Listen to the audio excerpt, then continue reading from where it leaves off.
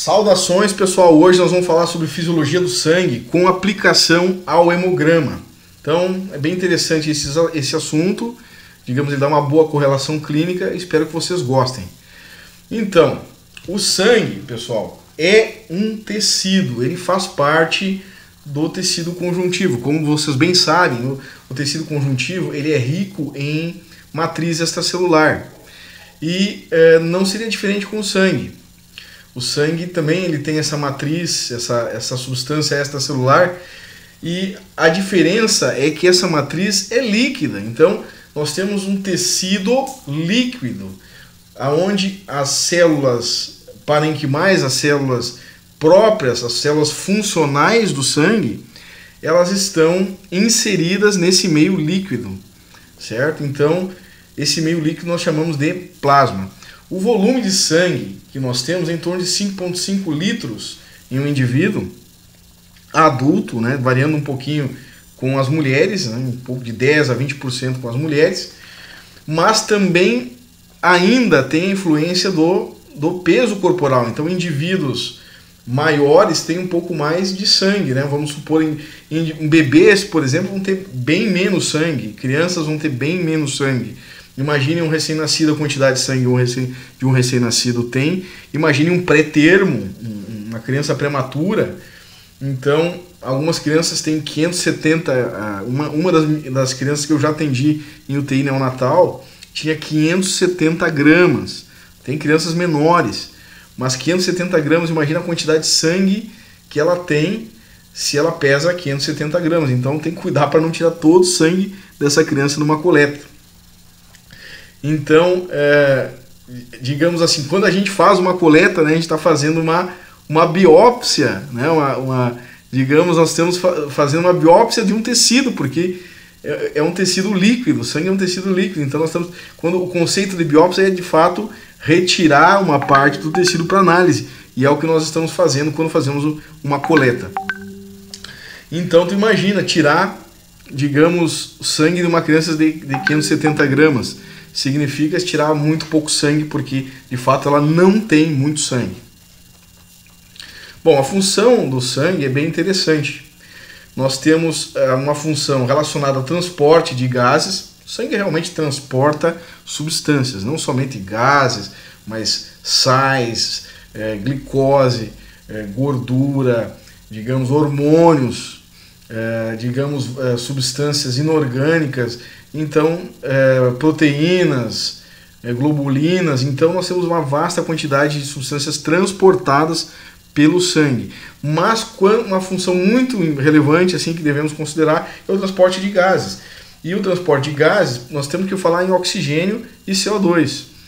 O, o oxigênio ele tem um papel é, muito importante para que é metabólico, né? O CO2 também.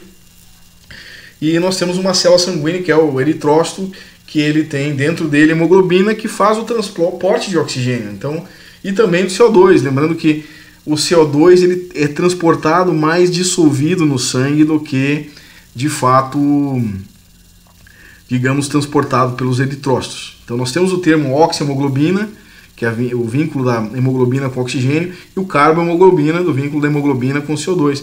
Mas o CO2 ele tem mais quantidade, ele é mais transportado, dissolvido no próprio sangue. Defesa, nós temos ali os leucócitos, é o exército branco do, do sangue. Então são vários tipos de leucócitos de duas linhagens específicas. E é, também tem a defesa contra a integridade, que é relacionada às plaquetas e é, também é, relacionada com elementos bioquímicos da, do processo de coagulação que estão inseridos no sangue. Bom, o sangue então ele apresenta plasma e elementos figurados. Quando eu falo em elementos figurados, eu chamo glóbulos, que são as células do sangue. Então, os glóbulos são células vermelhas, eritrócitos ou hemácias, células brancas e as plaquetas, que são pedacinhos de células. Sim, as plaquetas são células que, quando saem da medula, né, os megacariócitos se quebram e formam as plaquetas. Então, uma célula que se fragmenta, ela sofre morte celular, sofre apoptose e ela, ela é útil para o organismo quando ela morre, né, formando as plaquetas. é, que tem fun função importante na coagulação. E o, o plasma é a parte líquida, aonde essas células estão então inseridas em suspensão. Bom, quando nós temos assim o hematócrito, que é a primeira coisa que a gente vê no hemograma, que é o hematócrito, o que, que é isso, hematócrito? Como é que é feito? O hematócrito é. Faz-se a coleta, coloca-se no tubo e se faz uma centrifugação. A centrifugação é um método que ele vai separar os conteúdos do sangue pelo peso. Então, ele, a centrífuga vai fazer um, digamos, movimento, digamos, acelerado e vai empurrar né, o, pela, pelo peso, vai se, separar pelo peso né, nessa centrifugação, zzz, né, e vai então separando pelo peso a substância que tem no sangue. Então nós temos ali no tubo, aqui um tubo antes da centrífuga e aqui depois da centrífuga. Então depois da centrífuga nós temos separação pelo peso, onde que é mais pesado, que são as células vermelhas, fica lá embaixo. Depois aqui nós temos um filetinho camurso, aqui uma buff layer, são as células brancas, que é em torno de 1%, não aparece aqui direito. E acima das células brancas nós temos essa camada aqui, essa coluna de líquido que fica sobrenadante, que é o mais leve, que não tem elementos figurados, é só o plasma mesmo, certo? Então, o hematócito, ele nada mais é do que um percentual das células vermelhas, porque as células brancas são é, é 1% que está aqui. Então, isso dá uma informação geral no hemograma, que a gente fala, né? É, porque, por que ele dá uma informação geral? Porque ele diz quantas células vermelhas tem. Então, se eu tenho pouca célula vermelha, se eu sei que a hemoglobina está dentro das hemácias, logo eu vou ter pouca hemoglobina também. Porque a quantidade de, de hemoglobina e hemácia, a hemoglobina está dentro da hemácia, está diminuída junto com a hemácia. Geralmente, o hematócrito baixo, geralmente, está associada com perda sanguínea. Então, em acidentes vai baixar o hematócrito. Em, em, digamos, em traumas internos, sangramentos internos, vai baixar o hematócrito. E essa pessoa está perdendo sangue nas fezes, vai baixar o hematócrito. O percentual de sangue vai baixar um pouquinho, justamente porque está havendo sangramento, está havendo perda de elementos figurados do sangue. A pessoa pode até tomar água nos sangramentos crônicos, mas aí a quantidade de célula para repor não vai ser tão rápido, então vai ter um pouquinho de diminuição do hematócrito. E isso aqui é um esfregaço sanguíneo, então ele diz ali blood smear, very lucky view, porque realmente uma, uma vista de muita sorte ter todas essas células aqui juntinhas no esfregaço, é, porque não é comum, na verdade tu pega o esfregaço que tu vai ter só célula vermelha, uma ou outra célulazinha que tu vai encontrando ali na, na no campo do, do microscópio, que é a célula branca. E essas aqui são as células brancas. Ó. Essas são as células brancas. Aqui são as plaquetas. E o resto tudo aqui é red blood cell, células vermelhas ou eritrócitos ou hemácias, como você preferir chamar. Então são as células muito mais abundantes do sangue. O sangue é vermelho por causa destas ditas cujas aqui. Se fosse mais célula branca, então o sangue seria leitoso, seria camurso mas realmente é o sangue é vermelho. A não ser de nós gremistas que nós temos sangue azul, mas isso é outro nível. Então, nós temos o processo de fabricação do sangue, que é a hematopoese ou hemocitopoese. Então, essas células sanguíneas, os elementos figurados do sangue, são fabricados a partir de células tronco, chamada stem cell. Então, as stem cells fabricam as demais células sanguíneas. Então, elas são chamadas células mãe, totipotentes, pluripotenciais e assim por diante. E situam-se aonde? Na medula óssea. No adulto ou na criança né, é, já nascida na medula óssea. No, no feto existe hematopoese no baço e também no fígado. Então, a, a, a mitose dessas células pluripotenciais que leva digamos, a fabricação das células do sangue. E existem, de fato, duas linhagens. Quais são essas duas linhagens? São dois tipos de, de, de, de digamos, de células pluripotenciais que derivam de uma célula mãe, uma stem cell é, pluripotencial gera duas, digamos, linhagens, duas, digamos, herdeiras que vão dar seus segmentos. a sua prole. Então, essas duas células são, essas duas linhagens são as que compõem a célula linfóide, linfocítica, miela, é, é, linhagem linfocítica, e as outras, a outra célula, a outra linhagem é a linhagem mielocítica, ou as células mieloide. Então, quando a gente fala de leucemia linfocítica, a gente está falando do que? Da linhagem linfóide. Quando a gente fala de leucemia mielocítica, a gente está falando das células, né? A alteração de células é daquelas células da linhagem mieloide. Então aqui eu tenho um desenho né, das divisões da hematopoese, onde nós temos a stem cell, certo? Que é a célula mãe, se dividindo em duas linhagens, né? Linhagem linfocítica, gerando então esse processo a gente vai chamar de linfopoese, que vai formar os linfócitos. Então, os linfócitos, pessoal, são células brancas. É um tipo de célula branca, são vários subtipos que são chamados linfócitos. Então nós temos o que? O linfócito B, que ele é chamado de B porque nos pássaros ele foi primeiramente identificado e ele amadurece na bursa de Fabricius. E temos o linfócito T, que nos mamíferos ele amadurece no timo, certo? Então o timo ele é responsável pelo amadurecimento, né? é um berçário, digamos assim, de células T, uma vez que eles são todas fabricadas na medula óssea. Além disso, nós temos outros linfócitos, por exemplo, o linfócito assassino, o killer cell. E temos também o linfócito supressor, o killer cell também chamado de citotóxico, né? Então ele tem a função de ele mata até tumores, né, pessoal? Células tumorais, eventualmente que nós formamos, ele vai lá e mata. Então ele é um linfócito assassino, é um matador, é um vingador justiceiro, né? E nós temos também o supressor, que é aquele que deixa quieto, né? que diminui, que modula um pouco a, a resposta. Bom, o que, que eu quero colocar primeiramente? Quando a gente olha no hemograma, não vai aparecer não vai aparecer os tipos de linfócito que nós temos. Tá? Vai aparecer somente linfócito, que é em torno de 20%, aproximadamente a quantidade de linfócito no hemograma. Para saber quais as células que nós temos, é, dentro dos linfócitos é um outro exame, é o chamado diferencial, aonde nós vamos saber é, quais são as células pelas proteínas que elas apresentam.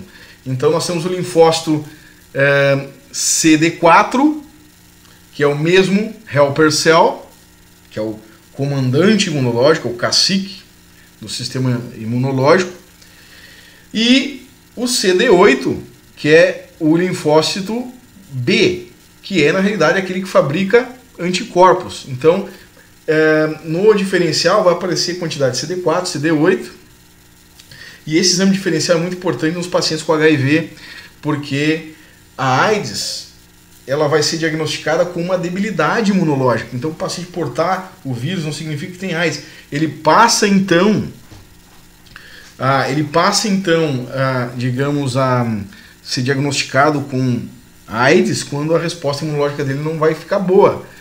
Então isso significa que ele tem uma baixa de CD4 do helper cell, além de ter uma carga viral alta, que é outro exame, né? Carga viral é outro exame, certo? Carga viral do HIV é outra coisa. Então o diagnóstico do paciente com AIDS, né, ele é feito por essa por essa avaliação também. É clínico, né, mas também é, através do, do diferencial. Porque quando o CD4 começa a baixar, a quantidade do linfócito CD4 começa a baixar, vai cair vertiginosamente a resposta imunológica, porque o CD4 é o comandante, é o cacique imunológico.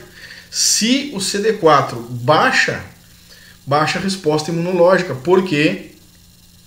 Porque ele que é o coordenador, ele é o chefe. Ele digamos, modula a resposta em, em termos de coordenar as ações do sistema imunológico. Sem a presença do CD4, nós, ah, digamos, as infecções oportunísticas vão entrar no nosso corpo, os, os patógenos oportunísticos vão estar no nosso corpo diante de uma situação de descoordenação das defesas.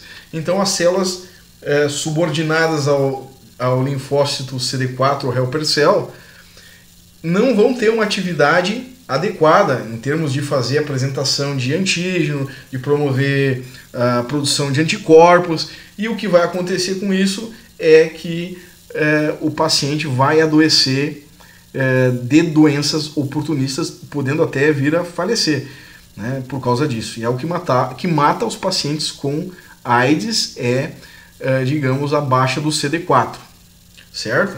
Então, no caso, tá, a, a linfopoese vai formar somente essas, esses linfócitos, né, esses linfócitos que são células brancas, são, são chamados de agranulócitos. Né? Mais recentemente, cientistas foram ver que eles eram chamados agranulócitos porque não tinham grânulos, mas eles possuem alguns grânulos, possuem menos, mas possuem. Então eles não são agranulócitos, eles são, têm menos grânulos que o normal, certo? E as outras células brancas que não são da linhagem linfóide, elas são chamadas de granulócitos, porque elas possuem grânulos bem presentes. Então, isso foi a linhagem linfocítica, a linfopoese. Nós temos a mielopoese, que é a linhagem mielocítica. Então, nessa linhagem mielocítica, o que, que nós temos? Nós temos a megacariócitopoese, que é a formação dos megacariócitos, que é uma célula que quando vai sair, ela é bem grandona, quando ela vai sair da medula óssea, ela se quebra, é uma espécie de apoptose. O que é apoptose? Morte celular programada, onde a célula, então, aonde a célula ela morre, né, se esfacela, se arrebenta e os seus fragmentos vão formar as plaquetas que são úteis na proteção da integridade vascular na coagulação, certo? A eritropoese vai formar então as hemácias, tá? as células vermelhas do sangue, é a maior, maior espécie celular que existe no sangue, são as hemácias. E hum, essa hemácia, quando ela sai da, da medula óssea também, ela é basicamente somente um saco de hemoglobina. Ela perde o núcleo quando sai da, da medula óssea. Então, essa é a hemácia. E, e nós temos aí também a formação dos monócitos, né? que a célula do sistema retículo endotelial é o mesmo tipo de, de é, fagócito que existe em outros tecidos, como célula de Kupfer, Lang, é, Langerhans na pele, é, osteoclasto, é, sistema retículo endotelial são fagócitos. Né? E as células da linhagem granulocítica, que é da mielo cítica, pertence à mielocítica, e essas aqui formam as células brancas com grânulos, diferente lá do linfócito que tem muito poucos grânulos, que antigamente chamado de agranulócitos. Né? Então os granulócitos são três tipos e eles se caracterizam principalmente, além dos grânulos que existem no seu citoplasma, eles apresentam então um núcleo né, lobulado, segmentado, certo? Com, com lóbulos, então não é dois núcleos, eles, os núcleos eles se segmentam formando partes. Então, inclusive essa célula aqui ela é chamada de neutrófilo polimorfo nucleado, neutrófilo polimorfo nucleado. A célula adulta, então esse neutrófilo polimorfo nucleado adulto ele é chamado de segmentado. E quando ele é novinho, ele é chamado de bastão, porque o núcleo ainda não se segmentou, certo? Então essa, essa é a diferença. Tá? E aqui nós temos então o eosinófilo, que ele se caracteriza então é, se caracteriza por se corar, ele é corado por corantes ácidos, né? Ele eosinófilo, ele gosta de eosina. Então ele se cora com corantes ácidos. E nós temos também aqui o basófilo, que se cora com corantes básicos, ele gosta de básicos. Então o basófilo é o eosinófilo e o neutrófilo polimorfo nucleado, que quando jovem ele é bastão, certo? São as três células aqui da linhagem granulocítica, da linhagem mielocítica certo? Então são células brancas com diversas funções que nós vamos retratar doravante. Então aqui, linhagem linfóide origina somente os linfócitos. E a mieloide, todas essas células aqui, granulócitos, né? os três tipos de leucócitos que a gente falou, os monócitos, eritrócitos e as plaquetas, que são os fragmentos de megacariócitos. E aqui somente célula branca. Aqui é célula branca e vermelha. Aqui somente célula branca. E essa célula branca aqui são aqueles tipos que eu falei que não vão estar discriminados no hemograma. Então, hemocitopoese, né? Nós temos cerca de 2,5 bilhões de eritrócitos. É muito eritrócito para por quilo de peso corporal, pessoal. 2,5 bilhões de plaquetas e 1,0 bilhões de granulócitos. Então, assim, ó, é, os eritrócitos são os maiores, né? Então, em, em, termos de peso do sangue, um grande percentual. E uma, bom, uma boa parte do peso sanguíneo é de hemoglobina, ou seja, de ferro. Então, se o magneto sabe disso, Deus o livre. O que, que ele vai fazer? Ele vai matar fácil as pessoas, porque vai manipular o ferro dentro da hemácia. Incrível isso, né, pessoal? Então, vamos lá, informação muito útil.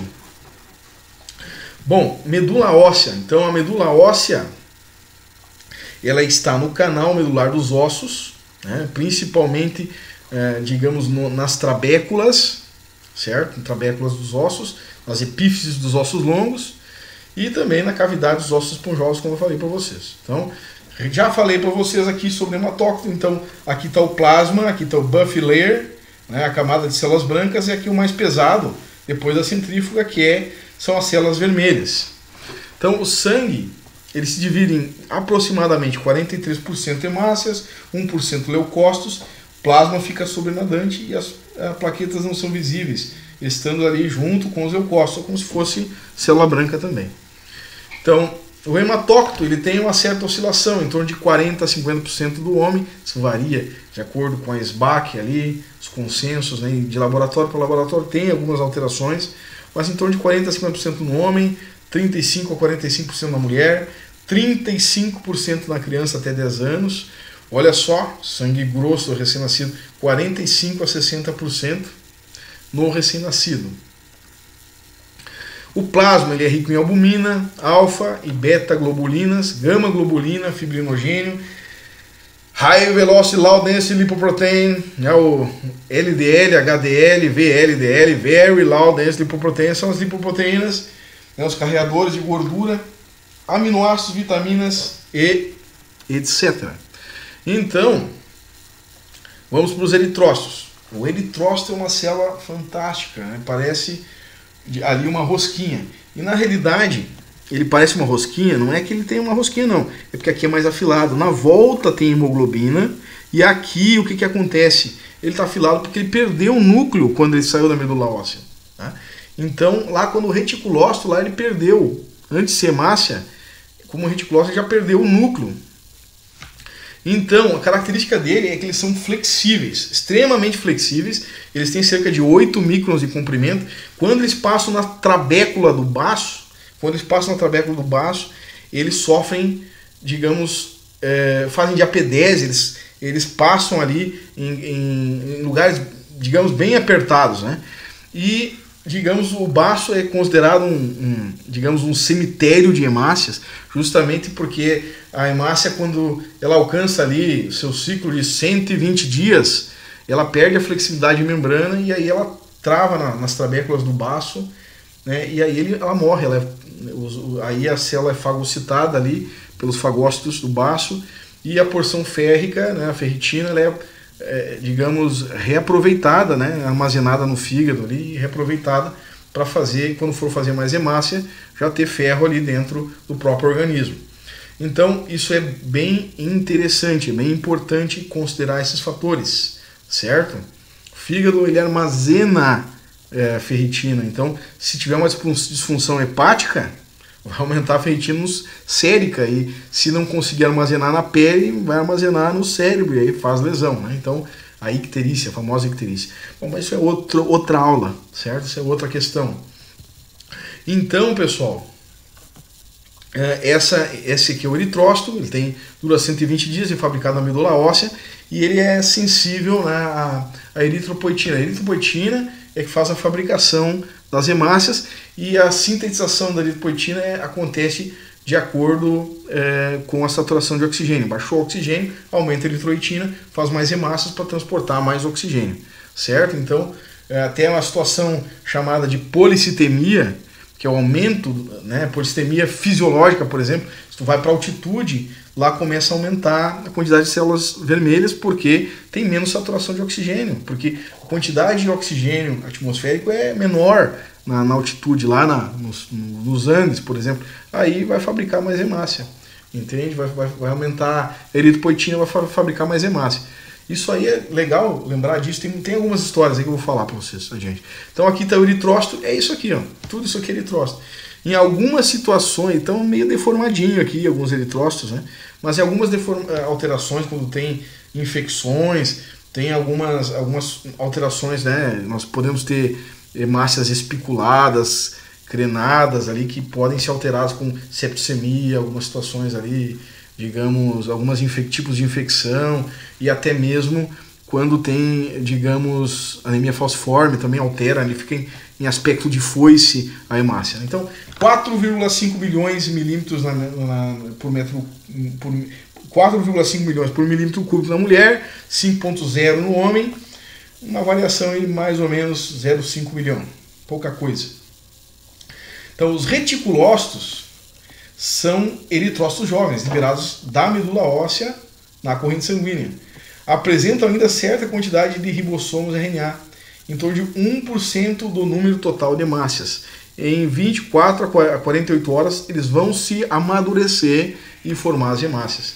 Então, como eu falei para vocês, a regulação da formação é pela eritropoetina, que é 90% dos rins, mas se acredita que os outros 10% em todos os tecidos do corpo fabricam um pouco de eritropoetina. Então a fome manda cartinhas, né? Então a eritropoetina tem outro, outros, é, é, digamos, componentes também que atuam na regulação. Um deles é o BPA, né, que é o Burst Promoting Activity, mas é, a eritropoetina é o mais famoso. Então, tá? Como eu falei para vocês, baixou o oxigênio tecidual, a eritropoetina aumenta, né? Aumenta seu pico em 24 horas. Entretanto, as hemácias demoram um pouco para surgir, em torno de uns 5 dias, para fazer essa adaptação, é, surgimento de hemácias novas. Né? Então, assim, é, isso aí está envolvendo ali, envolve muita coisa no esporte, né? chamado doping fisiológico. Tem gente que toma é, eritropoetina, né? Toma eritropoetina para aumentar a quantidade de hemácias, para poder ter mais oxigênio, para correr mais, para ter mais, digamos, pique, né? mais transporte de oxigênio. É, na Grécia se falava em esplenectomia para também melhorar, né, digamos, porque se tirar o baço, vamos supor, tirou o baço, o que, que acontece? As hemácias que morreriam com 120 dias lá no baço, no cemitério de hemácias, não vão morrer, então vão ficar mais tempo circulante. Então, isso, é, digamos, gera é, um doping fisiológico, mas na realidade foi visto que hoje não, não é tão produtivo assim. Entendeu? Mas se fazia isso, né? E se tem, se tem essa, esse recurso. Claro que se não morrer no baço, vai morrer em outro lugar, vai morrer no fígado. Né? O fígado também pode se comportar como um, um cemitério de hemácias. Então, ó, tem gente que entra em barraca, né, para ter menos CO2 ali, com loucura, né, para fazer doping fisiológico. Então, a maturação dos eritrócitos depende de cianocobalamina, um ácido fólico. Então, vitamina B12 é importante para formar DNA eritrocitário. Não é só isso, né? O ácido fólico, o folato, é, lá na, na, formação do tubo neural é importante. Sempre quando vai formar célula nova, precisa disso aí. Então, digamos, isso pode dar anemia, né? Lembra que a gente falou em aula? Falamos sobre isso na aula presencial.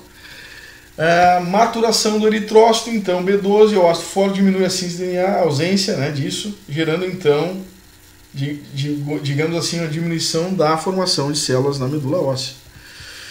A deficiência, anemia perniciosa, importante, né? Então, o que, que acontece? A anemia perniciosa é relacionada com a deficiência de B12. Em alguns casos, está associada com a atrofia da mucosa gástrica A gente sabe que é da mesma forma, né? Lá, mielomeningocele, lá na Irlanda, eles fizeram um estudo uma vez que lá tinha 700, cada 700 nascidos vivos, um era, tinha mielomeningocele. Foram ver que as mulheres tinham uma, uma deficiência na mucosa gástrica e isso diminuía a absorção de é, B12. Então, o que eles fizeram? Eles deram mais suplementação para essas mulheres para evitar, e até hoje se dá ácido fólico para as mulheres quando querem engravidar, para evitar, porque aumentando a dosagem, daí absorve um pouco mais, mesmo tendo atrofia da mucosa gástrica. Então são todas possibilidades, né? Quando nós temos, nós podemos, quando nós temos no hemograma, digamos, uma coisa falando ali, alguma coisa falando que tem é, B12 diminuída, como é que a gente vai ver isso? Pelo tamanho da hemácia, né, pessoal? Então assim, nós temos ali índices chamados hematiméticos, que eles mostram o tamanho e a concentração de hemoglobina de hemácia. Então assim, ó, é, RDW, o que, é o RDW? Ele, ele é, o normal é 18 aproximadamente. Então é a variação de, de tamanho. Se tiver muito variado o tamanho, significa que tem alguma uma doença ali naquele. Não é bem específico, mas é algo esquisito na, na, na hematologia. Ele tem vários quadros possíveis. Então, é, se tiver abaixo do normal, alterado o RDW, ele mede a anisocitose. A anisocitose é a diferença do tamanho, muito variado nas hemácias. É alguma doença, não é específico. Tá? Microcitose. O que é microcitose? Células pequenas. Então, quando eu tenho células pequenas, eu tenho alguns tipos de anemia, mais precisamente anemia por deficiência de ferro. Às vezes eu tenho, é, é, é, digamos, uma microcitose é, hipercrômica, que significa que tenho hemácias pequenas com bastante hemoglobina, certo? Cromia significa, né, digamos, concentração de hemoglobina. E pequenas, células pequenas, né, então significa índice massa corpóreo abaixo do valor da referência, mais especificamente um índice, massa corpóreo chamado volume globular médio ou volume corpuscular médio. E células grandes, né, células grandes com volume globular médio grande ou volume é, corpuscular grande nós chamamos de macrócitos. E essas células grandes, elas estão relacionadas com ácido fólico, certo? Então, anemia perniciosa e aqui anemia por deficiência de ferro. Então, a hemoglobina, então 32% do, da, da hemácia, então, imagina só se eu tenho, digamos, eh, no sangue, né? uma quantidade maior de hemácias, falando do peso do sangue, então 32% desse peso ali é referente à hemoglobina, e uma maior parte é ferro. Né? Então, cada hemácia contém 29 picogramas de hemoglobinas. Tá? É, o total de hemoglobina no corpo humano é cerca de 800 gramas nós temos em 5,5 litros, 800 gramas de hemoglobina, sendo que tem muito ferro ali, imagina, que dá para fazer uma barrinha de ferro ali com uma pessoa. É bem pequenininha, mas dá, certo? Porque uma parte disso aqui é ferro. Então, a hemoglobina é uma proteína então contendo quatro subunidades. Ferro integra hemoglobina, vários tipos né, de hemoglobina. Tem a hemoglobina é, fetal, a A1, a A2, sendo que essa aqui é predominante. Né? Então, a fetal, 100% no feto, 80% no recém-nascido e 1% a partir do oitavo mês de vida. Então, a hemoglobina nos pulmões, a gente já sabe, não vou falar isso, né? que é a oximoglobina formada quando a hemácia passa lá nos pulmões, na membrana alvéolo capilar, carreia o oxigênio e fica a oximoglobina. Então vocês já sabem disso. E o mesmo acontece com o CO2, sendo que o CO2 é mais quantidade dissolvida no próprio sangue mesmo. Tá? Então a hemoglobina no homem, 3,5 a 18 gramas por decilitro. Então isso aqui é uma. Além do hematócrito, eu tenho que olhar isso aqui, certo? Que é a hemoglobina para definir anemia, isso é fundamental. Então, ao analisar o hemograma, é, eu tenho que olhar o quê? Né? Pra, principalmente, eu tenho que olhar o número de hemácias, eu olho a hemoglobina e olho o hematócrito. Tá? Então, depois que eu vou olhar os índices hematimétricos, mas isso aqui já dá uma ideia se o paciente. O hemograma serve para ver anemia, não tem outra coisa. O que serve para ver infecção é o leucograma que está junto ali no hemograma, certo? A gente vai ver depois. Então, os índices de hematiméticos, né? Nós temos ali volume globular médio, certo? Que é o normal entre 86 a 98. Então, se eu tiver 80, eu tenho hemácias menores do que o normal. Se eu tiver 100, eu tenho hemácias maiores que o normal. Então, isso aqui me dá uma, uma ideia sobre anemia, digamos, microcítica ou macrocítica. Microcítica tende a ser deficiência de ferro e macrocítica é ácido fólico. Aqui, hemoglobina globular média, tá? Aí é a quantidade média de hemoglobina dentro das hemácias, é a média dessas hemoglobinas. Então, normal é entre 27 a 32. Concentração de hemoglobina corpuscular ou globular média. Então, isso é concentração de hemoglobina nas hemácias, em torno de 33 a 37. Tá? Então, esse é o normal. Então, tem situações de anemia que tem mais cromia e outras que tem menos cromia, mais concentração ou menos concentração. Então, o que é anemia? Então, baixa concentração de hemoglobina nos eritrócitos. Quais são as causas? Nós temos hemorragia, hemorragia menor produção de, de eritrócitos na, na, medula, tem situações ali, não é para nosso nossa alçada, né, mas tem situações ali de aplasia né, da medula óssea que está fabricando é, pouca célula, né, tem situações, é, digamos, que nós temos diminuição de todos os, os, as, os, componentes celulares, tem situações que nós temos um aumento né, de, de produção, né, no caso da, de, uma, de uma leucemia nós vamos ter aumento. Então, é, digamos, tem situações que nós temos também doenças autoimunes que destro, destroem as hemácias, né? Então tem anemia por, por doença autoimune, isso é importante. Tá? Aqui uma tabelinha bem legal, bem legal, é, sobre o tamanho das hemácias, né? Falando aqui, ó, nós temos três anemias, considerando o tamanho da hemácia, três grupos, né? Anemia microcítica, primeira coisa, iron deficiency que é deficiência de ferro. Então, claro que é o resto aqui, pessoal, a gente vai ver isso aqui, ó, para nós, né, dentro da área clínica da quiropraxia, isso aqui. Nós vamos correlacionar lá com um paciente que não tem rendimento no esporte ou que está, né, meio que tem subluxações que deixam a pessoa meio eh, inativa, então a gente vai conseguir diferenciar, né? Se o paciente está cansado, está sem energia por energia por uma disfunção né, neurofisiológica, né, devido a um complexo de luxação, ou mesmo se ele tem ali, digamos, uma anemia. E anemia normocítica, o que, que eu tenho?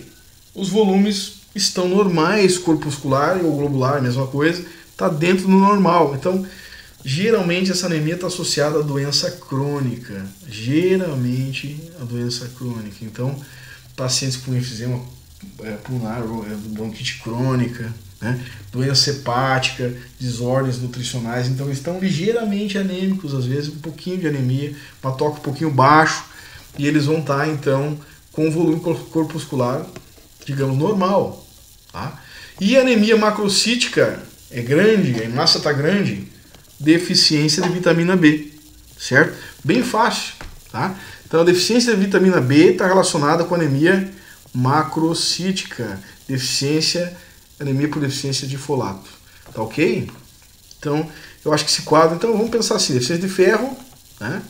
microcítica, macrocítica, vitamina B12 e tem ali anemia falciforme também, pode apresentar macrocítica, né? mas ela vai apresentar ali também alterações como no formato, isso aí no hemograma a gente vai ver aspectos de foice na hemácia, então anemia falciforme justamente, false é foice, certo? Então, Aqui exemplos de, de hemograma em anemia, né? anemia normocítica e normocrônica. Então, olha aqui, ó, hemácia 2,6 milhões, hemoglobina 7,6, hematócrito baixinho, 26. Olha aqui os, os índices hematiméticos aqui, ó.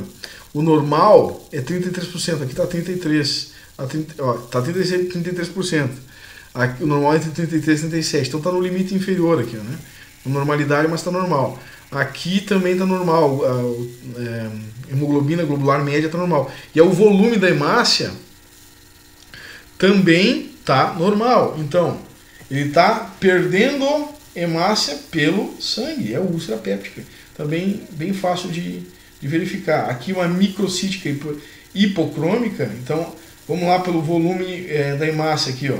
75, tá bem, deficiência de ferro, certo? E aqui, macrocítica hipercrômica. O que, que nós temos aqui, ó? Vamos pro volume. Tá grande, tá grande, então anemia perniciosa. Então, facinho, né, pessoal? Bem fácil. Poxa, ela sempre se metendo nas minhas aulas. Google, você não, não é fácil, né? Ok, Google, shut up. Então, vamos lá. Os leucócitos. Vamos para os leucócitos. Tem o seguinte resultado. Pois é. Bom, leucócitos. Vamos para os leucócitos. Então, nós temos os granulócitos e os agranulócitos. Já falamos sobre os aspectos né, do granulócito. É, o granulócito, ele, digamos, ele tem um núcleo irregular, ele é lobulado. Então, é, são os neutrófilos, eosinófilos e os basófilos. A gente já falou porque, pela coloração, um gosta de corantes, é, digamos, neutros, outro gosta de corantes ácidos e outros corantes básicos. E os agranulócitos com um núcleo mais regular, que é os linfócitos, né? E basicamente, pessoal, os linfócitos, o núcleo ocupa quase todo o citoplasma. O núcleo é grande, certo? Então, os leucócitos em torno de 15 a 25 mil por milímetro cúbico ao nascimento, cerca de 12 mil a partir do quarto dia e de 4 a 10 mil a partir dos 12 anos de idade. Então, esse aqui é um número absoluto que nos, pode nos dizer assim, está aumentando os leucócitos, a gente chama de leucocitose, está diminuindo leucopenia, que nem osteoporose, né? Só que a gente vai chamar de leucocitose para o aumento e leucopenia para diminuição, certo? E a mesma coisa que osteoporose, né, osteopenia, né? Então, os leucócitos, ao nascimento dos neutrófilos predominam, né? A partir da segunda semana os linfócitos predominam, aos 4 anos tem um equilíbrio em granulócitos e linfócitos, a partir daí, né, os granulócitos tomam conta, né? Então a maioria é do, dos granulócitos, 14, 15 anos é granulócitos. Tá? Então leucocitose e leucopenia. Então as duas, os dois termos já expliquei para vocês. Então aqui as proporções dos neutrófilos, dos, dos leucócitos, né? Então os neutrófilos 45 a 70%. O eosinófilo 0,2 a 0,4%. Os basófilos nada. Exatamente. Se coloca às vezes meio por cento, porque tu não acha essa célula, é difícil, né? E os linfócitos 20 a 30%, e os monócitos 3 a 8%. Que esse monócito aqui, pessoal, é a célula fagocítica. É o mesmo, né, célula sistema retículo endotelial. Então ele vai fazer opsonização, fagocitose, né, essas coisas. Então, aqui da linhagem mielocítica, né? E aqui eles têm, cada um deles tem uma função específica. Sendo que os neutrófilos, eles têm uma classificação de segmentados e bastonados. Então, quando nós temos presentes em bastões, a gente vai escrever na análise clínica, a gente vai perceber ali no laudo que tem que eles vão escrever bastonados. Se tem bastonados, eles escrevem. Se eles não vêm bastonados, é, digamos, acima de 5%, eles nem escrevem porque está normal. Então, o neutrófilo ele é chamado então de segmentado. Quando aparecer a célula jovem, que o, o núcleo não segmentou ainda, eles botam lá bastonado 6%. O que, que é isso, esse bastonado 6%? Olha, se o normal é 5, nós temos 6% de bastonados, significa que a medula óssea está fabricando muita célula jovem, mais do que o normal significa que esse paciente está começando uma infecção bacteriana. Porque o neutrófilo, tanto segmentado como bastonado, eles atuam em infecções bacterianas. Segmentados alto é mais infecção crônica. E bastão alto é infecção aguda, ativa. Certo? Eosinófilo, no que, que eles atuam? Os eosinófilos atuam. O eosinófilo atua em duas coisas: parasitose, certo? Atua na parasitose e também na alergia certo? Tem grânulos de histamina, eosinófilo e basófilos, tá? O basófilo específico, basófilo específico da alergia. Já o eosinófilo é parasitose e alergia. E os linfócitos, vão aumentar principalmente infecções virais, né? mas pode também algumas infecções bacterianas aumentar, ok? Da mesma forma os monócitos, não são tão específicos. Então, aqui o neutrófilo bastonete, então é o neutrófilo antes de ele virar segmentado. E o segmentado é o neutrófilo maduro. Quando aumenta o bastonete, se nós fizer uma linha aqui, né? Ele sai da medula, que é a medula, sai da medula. Ele sai da medula como bastão e vai evoluir para neutrófilo. Então, se eu começo a aumentar o número de bastões, quer dizer, tem muito segmentado, né? Mas começou a aumentar o número de bastões, eu chamo que o número está desviando para a esquerda. Então, desvio à esquerda significa uma expressão na bioquímica e na clínica que revela que está aumentando os bastões e isso significa infecção bacteriana aguda, certo? Espero que tenham compreendido isso aí, tá? Então, deixa eu ver o que é referente aqui do desvio esquerda, tá aqui, vocês podem ler, né? Aumento de formas imaturas, núcleo em bastão de metamielócitos, blá blá blá blá blá blá, tudo que eu já falei, certo? Então, aqui nós temos então um esfregaço sanguíneo mostrando uh, eosinófilo aqui, aqui um neutrófilo segmentado, aqui com três segmentos no núcleo, e aqui um eosinófilo. Tá? Pode ver os grânulos neles, né? E os grânulos ali que tem, eh, digamos, histamina neles, né? Então, é, o papel dele doenças alérgicas, né? Uh, e também parasitoses. Tá? O diferencial dele é parasitose, porque o basófilo também uh, aumenta na alergia. Aqui o basófilo, tá aqui o basófilo bem mais raro, né? mais difícil encontrar. Então, se, to, se apresentar um número um pouquinho maior de basófilo, já se registra. Né? Então, daí a questão toda é, considerando a sua função, digamos, relacionada a IgE, nós atuamos ali, eh, observamos a atuação em processos alérgicos. Como é que se faz essa contagem? Tá? Na faculdade aprendi manual. Então, assim, vamos imaginar que não tem uma lâmina agora para improvisar com vocês. Mas tu pega uma lâmina assim, né? Tem a lamínula ali, pá, você tem o campo. Aí a gente fazia um, um campinho assim, ó, né? Pegava, ficava contando assim, vamos por, passando o microscópio aqui, ó. Nada de neutrófilo. Aqui, nada de neutrófilo, que é uma plaquetinha ali, né? Vou passando. Agora encontrei esse aqui. Beleza. Então a contagem é percentual porque a gente conta até 100. A gente vai contando células brancas. Como eu ver que esse aqui é um basófilo, faço um palitinho ali no meu caderno, basófilo. Assim era feito, né? Então o maior, o maior percentual da célula, vou colocar aqui, ó, é isso aqui, ó tu vai encontrar muito mais segmentados do que os outros. Basófilo é 1%, certo? Então, a, a contagem de células era feita assim. Então, você já sabe que eles veio à esquerda, já está na hora de eu descansar. Era isso aí. É, bom estudo dirigido para vocês.